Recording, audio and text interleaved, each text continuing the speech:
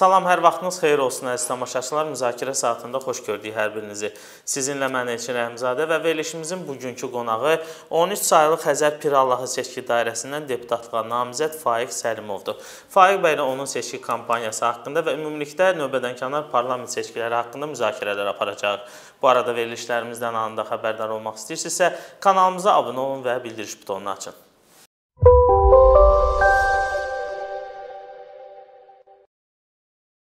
Fayqa xoş gördük. Xoş gördük sizləri. E, kampaniyanız necə gedir? Yaxşı, normal. Tamaşaçılarımıza özünüz haqqında məlumat verərdiniz. Təşəkkür edirəm.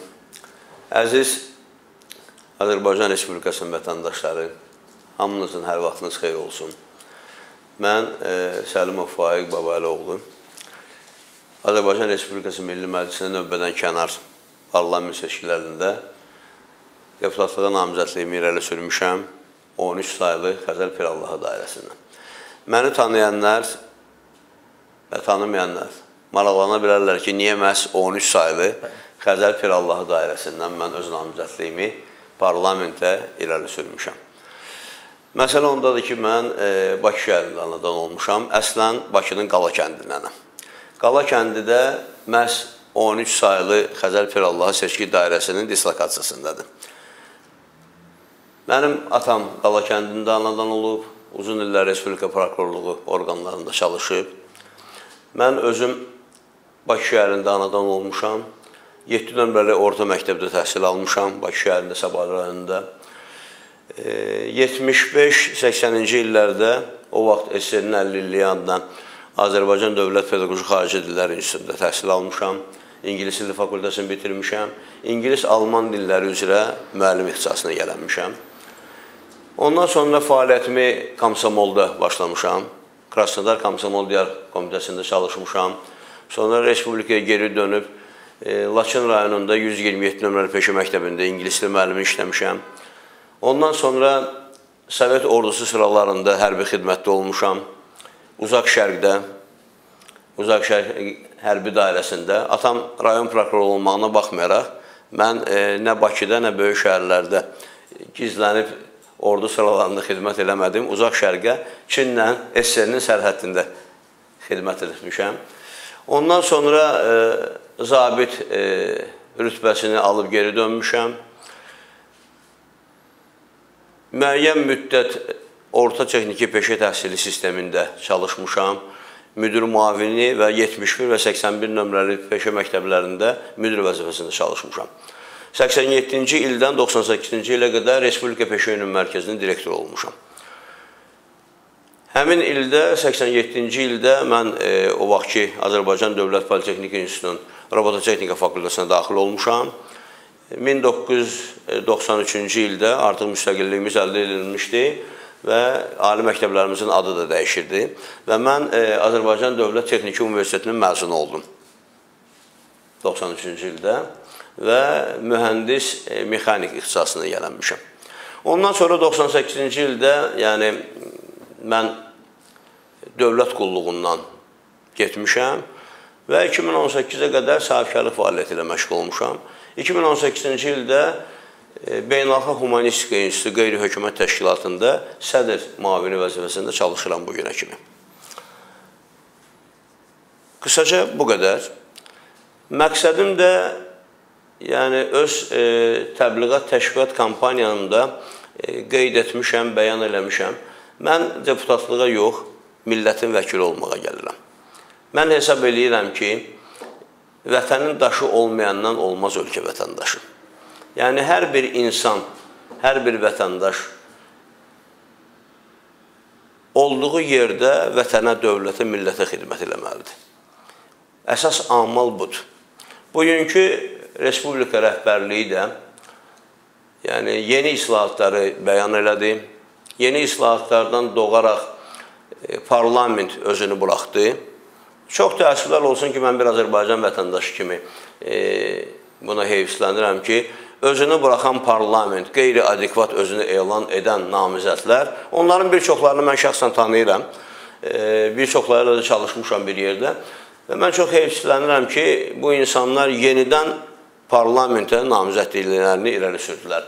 Yəni ölkə başçısı əlindən gələni edir ki, bu respublika çəklənsin, iqtisadiyyatı güclü olsun, irəli getsin, əhalinin maddi rifahı yaxşılaşsın. Azərbaycan vətəndaşları dünyada çox hörmətli vətəndaşlar səviyyəsinə qalxsın. Çox təəssüflər olsun ki, məmurlarımız da və buraxılan parlamentin üzvləri də cənab prezidentin etimadını və etibarını doğrultmadılar. Yəni özləri bunu anlayıb özlərini buraxdılar, öz fəaliyyətlərinə son qoydular, amma yenə də parlamentə can atırlar. İnsanlar var o parlamentdə 5 çağırış, 6 çağırış. Elə bizim Xəzər Pirallahı seçki dairəsindən e, deputatlığa namizəd 4-cü çağırışa gedir. 15 il 3 çağırış şəxs bu dairədən millət vəkili olub. Yenə də 4-cü dəfə parlamentə seçilmək iddiasındadır. Sakinlər onun haqqında nə fikirdədirlər? Sakinlər onun haqqında çox mənfi fikirləşir. Əvvəl o yerli adam deyil. İkincisi də indi o seçiləndə də təsadüfən gəldi indi e, o dairədən keçdi. Dairə təzə yaranmışdı. Yəni 2003-də yaranıb dairə.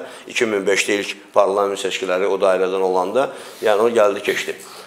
Yəni burada e, artıq e, seçki dairəsindəki seçkicilər də, orada yaşayan sakinlər də yəni ağın qaradan seçilməsini gözəl bilirlər. Xalqın gözü tərəzidir.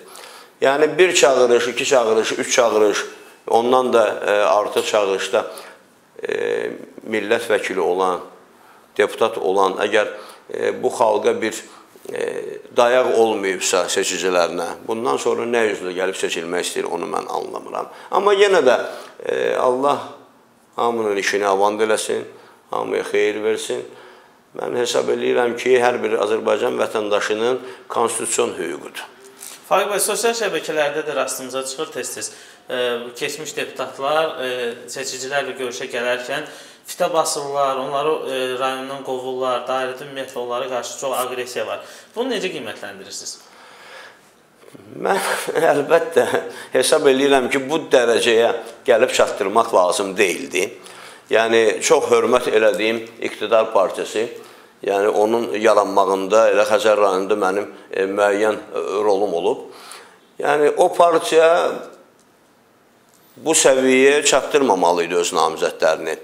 Yəni artıq insanların da səbri tükənir. Yəni eyni simaları, eyni sifətləri nə qədər görmək olar?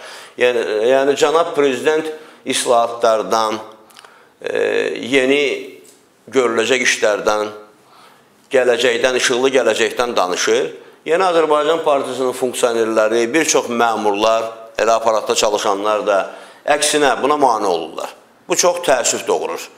Yəni cənab prezident son çıxışlarında dəfələrlə, yəni akademiyadakı çıxışında, Bakı Dövlət Universitetinin 100 illiyində çıxışında, ondan başqa bütün tədbirlərdə islahatlardan danışır, gənclərə yolların yolun verilməsindən danışır. E, yəni yenilikdən danışır. Mən də hesab edirəm ki, yenilik lazımdır. Yeni insanlar gəlməlidir və yeni insanlar da xalqın seçdiyi insanlar olmalıdır. Sizcə ölkə başçısının bəyan etdiyi bu e, demokratik seçki elanını e, məmurlar imkan verəcəkmi doğrudan da demokratik keçsin?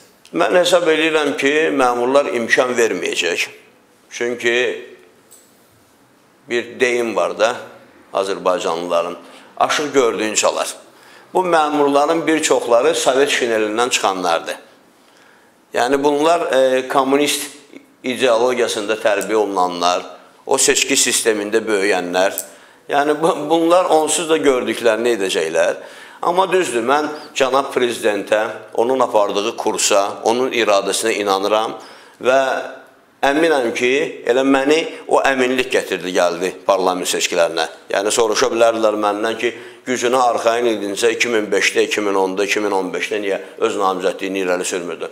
Mən məhz cənab prezidentin çıxışlarından sonra onun yeni kursu, yeni islahatlar kursunu bəyan etdiyindən sonra, məmurlara tapşırıldığından sonra öz namizədliyimi irəli sürdüm. Məhz öz e, doğulduğum boya başa çatdığım seçki dairəsindən. Yəni mən hesab elədim ki, o seçki dairəsində seçicilərə mən daha yaxınam, məndən əvvəlki deputatdan. Ona görə ki, mən orada boya başa çatmışam, mənim e, yəni doğma yurdumdur. Faiz bəy, seçicilərlə görüşərkən ərazinin əsas problemləri hansılardırsa, nədən gileylənirlər? Əsas e, problemlər bu gün e, yenə də deyirəm, e, çox razılıq hissi ilə qeyd etmək istəyirəm ki, e, həmin rayondan 13 saylı seçki dairəsindən hörmətli birinci vitse-prezidentimiz Mehriban xanım Əliyeva e, millət vəkili olub və onun e, xidmətləri danılmazdır orada, çox böyükdür. Çox böyük abadlıq işləri görülüb rayonun ərazisində.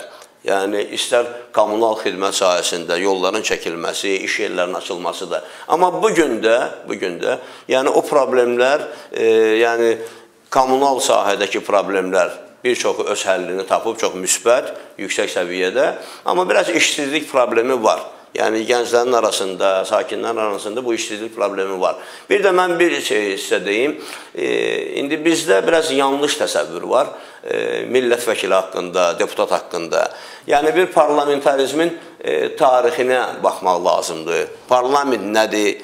Millət vəkilinin vəzifəsi nədir? Millət vəkili e, asfalt çəkməməlidir, yol çəkməməlidir. Millət vəkili e, işıq, qaz, su çəkməməlidir, onları e, təşkil eləməməlidir. Niyə görə? Çünki bunun üçün dövlətin büdcənin vəsaiti var, e, dövlətin strukturları var. İndi Allah'a şükür Azər İşıq da var, Azər Su da var, Azər Qaz da var, Azər Yol da var. Milyonlarla pullar ayrılır onların elə orada çalışan e, məmurlarına, işçilərinə baxsan, onların rifah halı çox yaxşıdır. Maaşları da yüksəkdir. Bu hardan gəlir bu pullar? Bu xalqın pullarıdır. Vergidəndir. Bir də xalqın e, xalqa etdikləri xidmətin əvəzində bu pulları bu xalqdan alırlar. Bu xalqa da o pulun müqabilində mədəni xidmət göstərməlidirlər, yüksək səviyyədə peşəkar. Millət vəkili e, seçicilərin hüququnu müdafiə eləməlidir, haqqını tələb eləməlidir. Niyə görə? Çünki e, millət vəkili haqqında Azərbaycan Respublikası qanununda qeyd olunur ki, bu e, şəxs istənilən məmurun qapısını aça bilər, istənilən e, sorğu göndərə bilər dövlət qurumuna, icra strukturuna, onun nəticəsini əldə etməlidir, bəyan eləməlidir. Bu, hər bir seçicinin yanında olmalıdır. Bu, bunun vəkili olmalıdır. Sözün anlamı budur. Parlament isə O da indi mən e, Amerika burada kəşf eləmirəm. Yəni hər bir təhsilli adam bilir ki, bu parlation sözüdür, bu danışmaqdır. Bu e, parlamentarizmin bir tarixi var da, bu e, qədim dünyada yarananda bu parlament yəni bir hesab yeridir. Yəni bu parlament bu gün e, icra strukturundan hakimiyyətin müstəqil qolu kimi, qanunverici qolu kimi, yəni icra strukturundan hesab sormalıdır. Hə, çox təəssüflər olsun ki, indi bizdə o parlament təcrübəsi biraz başqa cür gedir. Yəni biraz hesab sormaq e, başqa yönümdə gedir. Yəni bu məmurlar o, o dərəcədə e, artıq özlərinə arxayındılar ki, e, artıq dövlət başçısı da hələ 2012-ci ildə bunları üst tutaraq, yəni biznes mərkəzində görüşdə mənim yadımdadır, sosial regional sosial iqtisadi inkişafı ilə əlaqədar olaraq onlara üzün tutub dedi ki, e, mən sizi ora ağa təyin eləməmişəm. Mən xalqın nökəri olmaq lazımdır. Yəni xalqın xidmətində durmaq lazımdır. Bu məmurlar düzdür, hamısı Azərbaycan evladıdır. Hamısı Azərbaycan balasıdır. Hamısının damanında bir çoxlarının, yəni bir çoxlarının deyəndə bir qism düzdür, başqa millətlərin qanı axır damarlarında. Amma böyük əksəriyyətində yəni türk qanıdır. Yəni bunlar bu xalqa xidmət eləməlidirlər. Xalqın nökəri olmalıdır. Yəni çox bir e, absurd vəziyyət yaranıb. Yəni mən çox təəccüb elədim bir Azərbaycan vətəndaşı kimi e, bu həyatı yaşayıb e, gördüyüm, yəni Aksafanın icra başçısının tutulması, orada yaxın sədrinin tutulması, icra başçı, yəni Yevlaqda e, keçmiş icra başçısının həbs olunması, yəni bu insanlar nə dərəcədə ya bu savadsızlıqdandır, ya e, harınlıqdandır bunlar. Yəni dövlət başçısı deyir ki, xalqın nökəri ol, xalqa xidmət elə xalqın malına göz dikmə. Nə tələ ola bilər? Az təminatlı ailələrə dövlət başçısı pul ayırır. Sən o pulu mənimsəyirsən, öz evladın üçün, ya kimin üçünsə xərcləyirsən, bu dərəcədə vicdansızlıq olmaz. Mən o baxımdan deyirəm ki, parlamentdə təmsil olunan hər bir adam konjunkturanı gözləmək lazımdır. Siyasət ictimai münasibətlərdə də, şəxsi münasibətlərdə də e, dil tapmaqdır. Bu siyasətin e, əsasıdır. Amma bu o demək deyil ki, sən xalqın, o aşağı təbəqənin haqqına girib yuxarıdakı olan təbəqənin, yəni məmurunmu ya bir mənsəb sahibinin haqqını qoruyasan. Xeyr, sən xalqın yanında olmalısan və cənab prezidentin söylədiyi kimi məndən qorxmursunuz, Allahdan qorxun. Allahın yanında olmaq lazımdır. Allahı unutmaq olmaz. Burada bir e, misal da çəkim. Yəni dünyanın ən məşhur yazarlarından biri olan Gabriel Marquez'in 100 il tənhalıq bir romanı var. Orada yəni insanlar bir qapalı mühitdə e, divarlara ərzaq adı, əşya adları yazırlar. Biri e, qalxır, gedir, yazır Allahın adını, deyir Allahı unutmayaq. Yəni Allahı unutmayan yerdə bərəkət ruzu olacaq.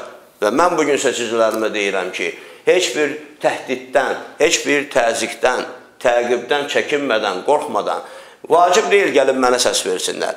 Haqqa, ədalətə səs versinlər. Elə cənab prezidentin söylədiyi sözlərə səs versinlər. Mənə e, elə gəlir ki və mən əminəm ki, cənab prezident bizim ümidimizi doğruldacaq.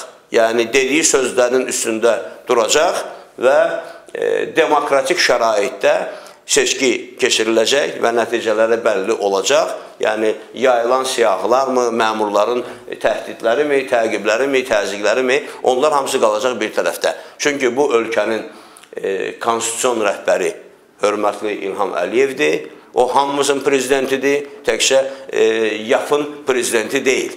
Yəni o hər bir Azərbaycan vətəndaşının kiçikdən böyüyə qədər hamımızın prezidentidir və mən şəxsən ona inanıram onu dəstəkləyirəm. Seçkinin nəticələrindən asılı olmayaraq mən ona inanıram. Çünki bir zamana ehtiyac var. Və mən hesab edirəm ki, e, cənab prezident də, birinci vitse-prezident də, Mehriban xanım da əllərindən gələni eləyəcəklər yeni komandanın formalaşmasında, yeni islahatların həyata keçirilməsində və Azərbaycan xalqının e, gözəl gələcəyi var. Faiq bəy, e, inzibati resurslardan istifadə edən e, rəqib namizədləriniz varmı? Ümumiyyətlə e, sizə əngəl törədən inzibati e, belə deyim, məmurlar varmı ümumiyyətlə? İcra orqanları olsun, polis olsun, varmı belə bir şey? Xeyr, yoxdur. E, bir 2-3 gün bundan öncə bir e, çox kiçik insident oldu. Yəni bu e, şəxsi sahibkarların obyektlərinə vurulan şəkilləri çıxartmışdılar Mərdəkan qəsəbəsində. Yəni o icra nümayəndəsinin təşəbbüsü idi mənə dedilər. O da bilirsiniz nədən irəli gəlir? E, savadsızlıqdan. Bu adam anlamır onu ki, yəni bu təbliğat, təşviqat e, tutaq ki, e, rayonun kommunal təsərrüfat xidmətinə aid olan divarlardamı, hökumətin tutaq ki, e, aid olduğu sahələrdə e, bir təbliğat, təşviqat aparmaq, orada e, şəkilləri yapışdırmaq, tutaq ki, bunun üçün bir müqavilə bağlamaq lazımdır dövlətlə, kommunal xidmətlərlə. Bu bunlara başa düşmür ki, şəxsi sahibkar öz əmlakında kimin şəklini istəyir onu təbliğ edə bilər qanun çərçivəsində. Yəni Azərbaycan Respublikasının seçki haqqında qanunu buna icazə verir. Bu da savadsızlıqdan irəli gəlir. Mən səbəb eləmirəm ki, təxribatdır. Yəni bizim hüquq mühafizə orqanlarından Xəzər rayonunda mən ümumiyyətlə respublikada olan işindən razıyam, amma Xəzər rayonunda xüsusilə heç bir müdaxilə yoxdur. Nə rayon icra hakimiyyəti tərəfindən müdaxilə var. Yəni ayrı-ayrı indi məmurlar sizə dedim o qəsəbə nümayəndələri o da savadsızlıqlarla irəli gəlir. Faiq bəy, e, seçkilərin növbədən kənar seçkilərin qış ayına düşməsi və az müddət e, təyin olunması çox namizədlər üçün problem yaradır. Amma ən əsas problemlərdən biri də efir məkanının olması, olmamasıdır və e, ictimai televiziyanın təqdim etdiyi qiymətlər, kosmik qiymətlər heç kimin cibi üçün deyil belə deyil. E, bu e, məqama sizin münasibətiniz? Mənfidir. Çünki seçki kampaniyaları hər 5 ildən bir müəyyən, yəni qanunda e, təsbit olunmuş müddətlərdə keçirilir və əsas məqsəd e, xalqın maariflənməsi olmalıdır. Maariflənmə üçün də efirin böyük xidməti var. O təbiidir, yəni o danılmaz faktdır. Yəni bu gün o efir qiymətini e, qaldırmaq ictimai televiziya xalqın televiziyasıdır. Evet. Yəni o ə, əksinə imkansız adamlara kömək eləməlidir, namizədlərini irəli sürən adamlara. İndi Yeni Azərbaycan Partiyası o da qanuna uyğundur, özləri qanunu qəbul ediblər parlamentdə. Yəni müəyyən bir e, say olanda siyasi partiya efir vaxtı pulsuz verilir. Ondan da onlar imtina elədilər. İndi bəlkə də cənab prezidentin göstərişinə görə elədilər. Yoxsa onlar elə hamısı efirə çıxıb danışacaqdılar. Amma onların danışmağı da indi xalq onsuz da artıq onlara çox qulaq asıb. Xalq yeni səslər, yeni fikirlər, yeni ideyalar eşitmək istəyir. Onun üçün bu şəraiti yaratmaq lazım idi. Mən hesab edirəm ki, bu gün cənab prezidentə yarınmağın heç bir önəmi yoxdur. İlham Əliyev cənabları Azərbaycanda prezident olduğu dönəmdə artıq nüfuzu və hörməti qazanıb. Ona görə bu gün çıxıb onu tərifləmək lazım deyildi, amma yeni ab-hava, yeni ideyalar, onlar lazım idi. Onlara görə də bu ictimai televiziya və elə Azərbaycan e, televiziyası da bir şərait yaratmalı idi ki, bu e, deputatlığa namizədlər efirə çıxıb öz sözlərini desinlər, öz platformalarından danışsınlar, öz e, problemi görməklərindən danışsınlar. Yəni bunlar xalqa yaxın, seçiciyə yaxın olan insanlardır. Bunun bir zərəri olmaz. Çıxıb ümumi şablon sözlərlə, bayağı sözlərlə danışmaq və yaxud hazırlanmış mətnlərlə danışmağın bu gün xalqın qarşısında heç bir önəm yoxdur.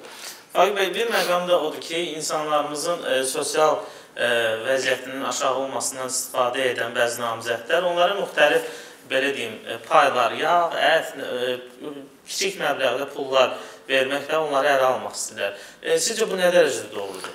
Çox mənfi praktikadır, ifrat dərəcədə. Mən hesab eləyirəm ki, mənim əqidəm budur.